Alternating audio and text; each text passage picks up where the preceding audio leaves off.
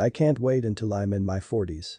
Khloe Kardashian, 39, revealed that she can't wait to move on from her worst decade ever.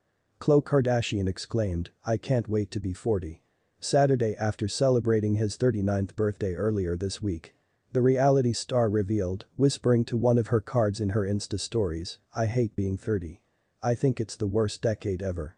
My 30s include their benefits, like the arrival of her kids, yeah, 5-year-olds, and Tatum, who's going to complete this. The month. However, this decade also saw Khloe finalize a sensational divorce from Lamar Odom, who nearly died of a drug overdose in a brothel during the split. Next, she had a romance with Tristan Thompson, who bore her two children, but was also unfaithful to her. Khloe turned 25 in 2009 when she walked down the aisle with Lamar, a month to the day they met.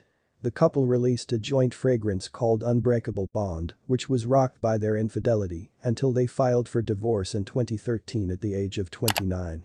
Her divorce proceedings are still in progress as she is 30 years old and celebrates her important birthday with her family on a yacht. In 2015, Lamar was found unconscious in a Las Vegas brothel after a drug overdose, then slipped into a coma, but miraculously survived the ordeal despite suffering multiple heart attacks, strokes, and kidney failure. Khloe and Lamar were still working on their divorce when the overdose happened, but she rushed to his bed anyway. She even withdrew her divorce petition, but only to legally allow her to make decisions on his behalf when he became incapacitated. They finally ended the split in December 2016, just months after Khloe called to congratulate her on her 32nd birthday.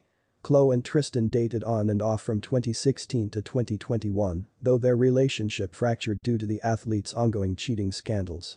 Less than 48 hours before True was born, DailyMail.com exclusively broke down Tristan's alleged affair with New York strip club bartender Lani Blair.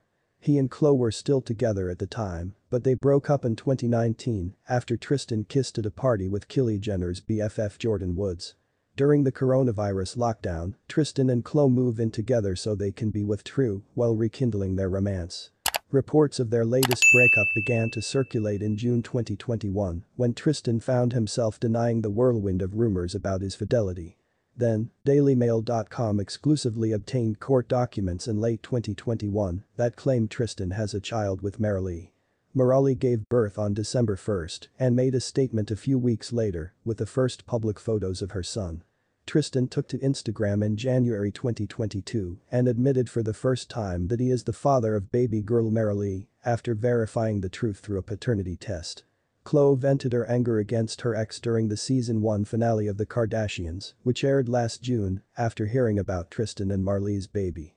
She made Tristan's shocking discovery when her sister, Kim Kardashian, read a story on DailyMail.com that exclusively broke the news of the former NBA player admitting to being the father of a child in court documents. Khloe was seen crying as she lashed out at Tristan for humiliating her with yet another public scandal. I called him and said, what do you have to say? For my part, I yelled some more, but he, speaking, tried to plead his case. There's not much I can say in my opinion, Khloe said later in the episode. It's a joke, it's rude, it's a joke, it's embarrassing, it sucks, we're all over the place. I was like, I didn't buy tickets to this goddamn circus, but somehow I'm watching all these clowns perform in front of me. To participate in this show.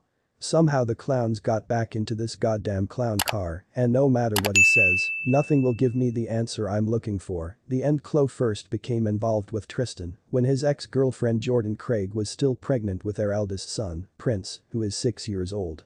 Although Jordan claims she was still with Tristan when he met Khloe, the reality star insists she thought he was celibate at the